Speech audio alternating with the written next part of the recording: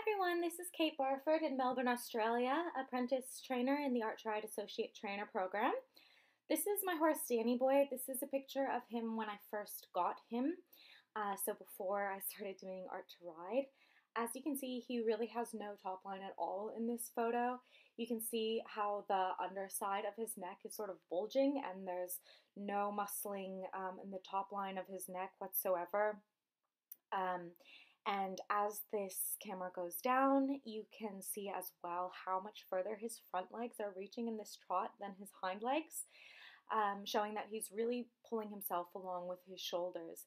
And that's basically how he moved for the first uh, 18 years of his life. Um, so that did cause some damage. He had he has splints under both of his front knees. Um, and when I got him at this stage, he was severely uh, lame at one stage he was lame on all four feet. Um, the splints don't cause him any pain, and um, uh, through using art to ride training and also through uh, addressing some imbalanced hoof trimming, uh, I've been able to get him sound again and develop his top line, as you'll see in the next photo. So here you can clearly see the difference. This is after six months of Art to Ride. You can see how much his upper neck muscles have developed and how he's been able to relax those under uh, neck muscles. You can see how much further his hind end is reaching than his front end in this photo, showing that he's propelling himself along with his hind end rather than pulling himself along with his shoulders. Um, and you can see uh, how behind the saddle that area is filling in nicely. Um, so for six months of Art to Ride, and also only six months of him being in the bridle, before that I was doing all my work in a rope halter, I'm really pleased with his progress. Um, you can also see his uh, his abs engaging here and lifting up, and uh, he's over his back in this photo as compared to the other photo where he was completely hollow in that trot. And I can tell you this is much more comfortable to ride uh, than his old trot was. So here's a video that I thought I would include in here so that we can track his progress over time. This was taken on the same day as that photo of the trot that I just showed you. You can see uh, the development of his upper neck muscles. You can see his under neck muscles are still developed, but after 18 years of pulling himself along with his shoulders, um, they're not just going to go away in six months. Um, and uh, one area I would really like to see him develop more is behind the wither. He hasn't quite lifted up through the wither yet, um, which can make saddle fitting challenging as well because you don't have that sort of platform to hang the saddle off in the front. Um, but his loin area has really developed quite a lot in the past six months. And uh, looking at his hind end here, he used to just have two big swollen muscles on the top of his hind end, which have now blended in um, uh, to his other hind end muscles. Um, so he looks much stronger behind now. And as we come around this side, again from this angle, you can see that he still has some top line development to go behind the wither, and his back is still a little bit dropped there, but his loin area is developing quite nicely. Um, and he still needs to sort of lift up through the, the core.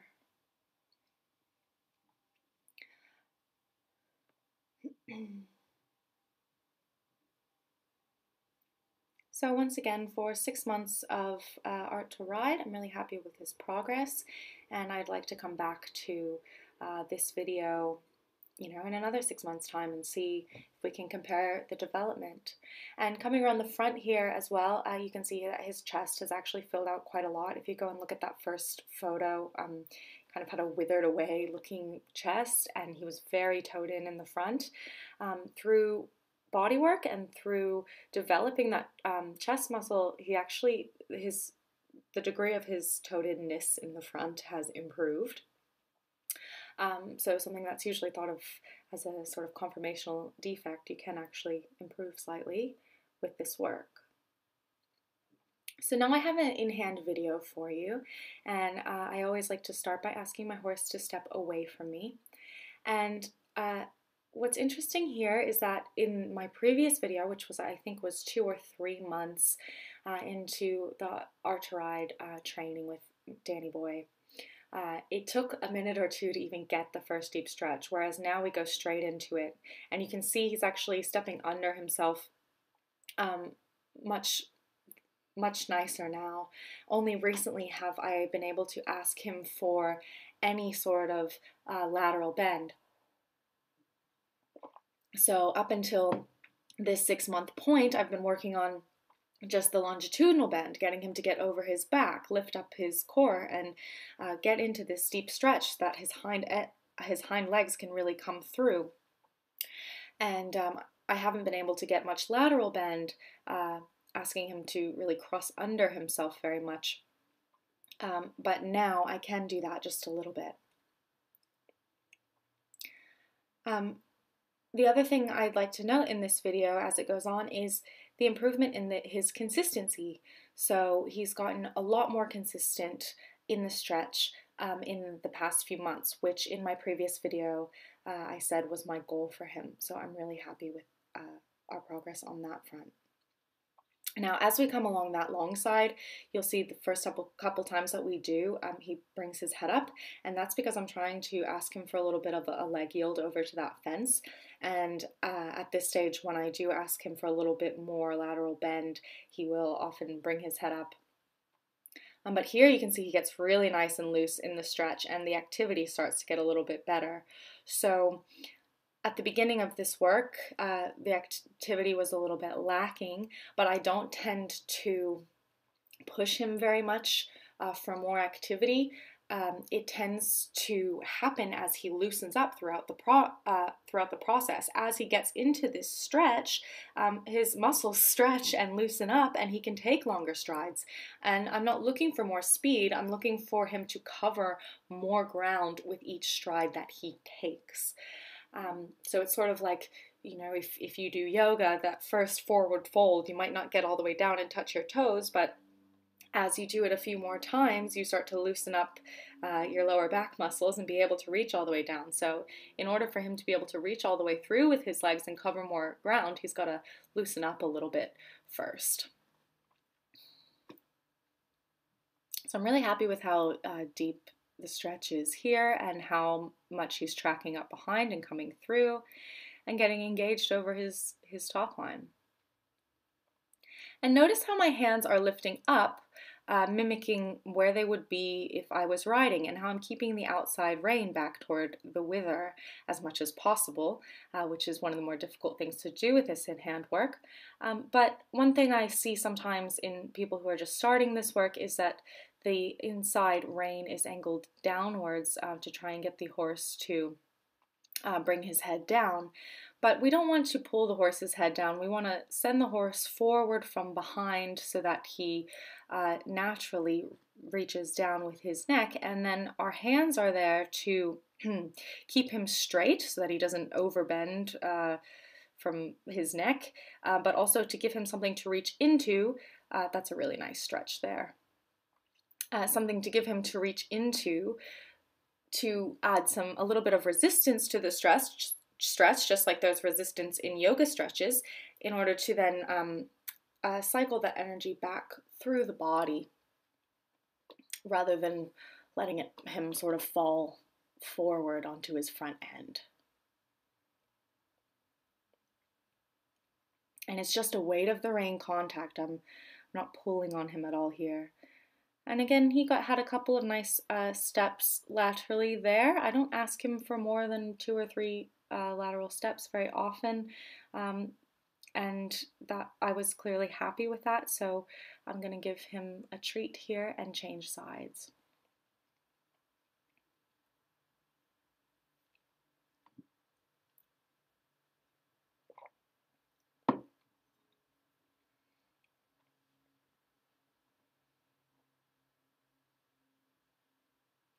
So I'm once again going to ask him first. I'm just going to check and see if all of my cues work by asking him to uh, step away from me. So first I'll ask for just a little bit of um, flexion towards me, and uh, then I'll ask him to step over and away from me. and uh, I think he has a scratch here. I'm a little bit lenient with him about uh, scratching. So I get a little bit of um, flexion towards me there, then he wants to have a scratch. And as Will says, uh, don't beat, repeat. So once he's done scratching, we'll just try again.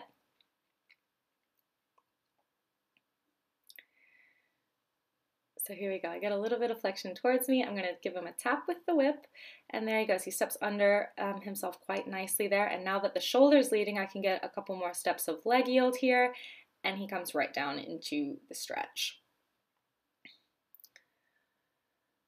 So I'll use a few different kinds of lateral movements with him for a purpose. Um, I will ask him to step laterally under himself in order to get him to um, uh, engage his core and engage his top line more, I might ask him to step over uh, in a bit of a leg yield to widen the circle. I might ask him to do a leg yield from the center line out towards the fence, or I might ask him for a little bit of a shoulder fore, just uh, getting him to angle his hind end towards the fence. I think I'm sort of starting to do that a little bit here. Um,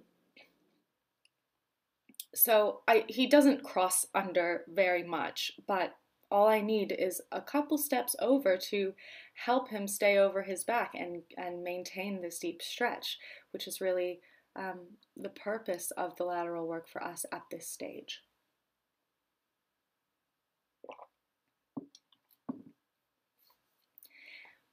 And each step that he takes, where he's uh, reaching deeply under himself, um, is developing his top line muscles that we need in order for him to be strong to ride. Now this is interesting, his head's up a little bit here and look at how stiff his hind end is, but when he comes into this trot, look at how much more fluid his move sorry, into this stretch, look at how much more fluid his movement is behind. That's really what we're looking for. And that's a really nice loose stretch there. Sorry, I didn't have a cameraman with me this time, so I just had to put it on the fence and do my best to stay within the camera. You can see as he comes around this side how loose his pole is, his jaw is, all the way through to his hind end. And the activity is better now. As I said, as he loosens up, the activity improves. Um, and I just try to, in the early parts of the session, just maintain uh, a rhythm. So if he tries to slow down on me, I'll tap him with the whip, but because I want to maintain the rhythm, and then just slowly let him open up so that his stride covers more ground, like it is here. It looks really nice.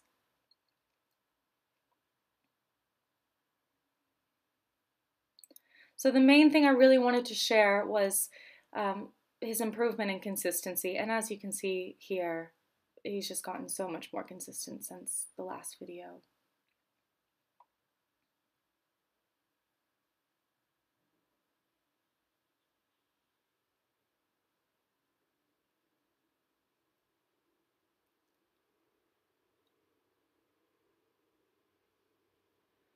Down this long side, I'm asking just for a little bit of shoulder fore, asking him to tip that hind end towards the fence and cross under as much as he can for a couple strides.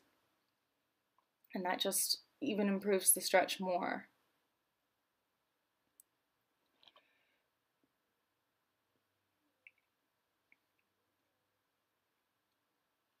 So I never consider walking uh, in hand you know to be wasted time because each step that he takes here is is developing those top line muscles that we need to ride and is training him the cues that we'll need to uh, use to ride.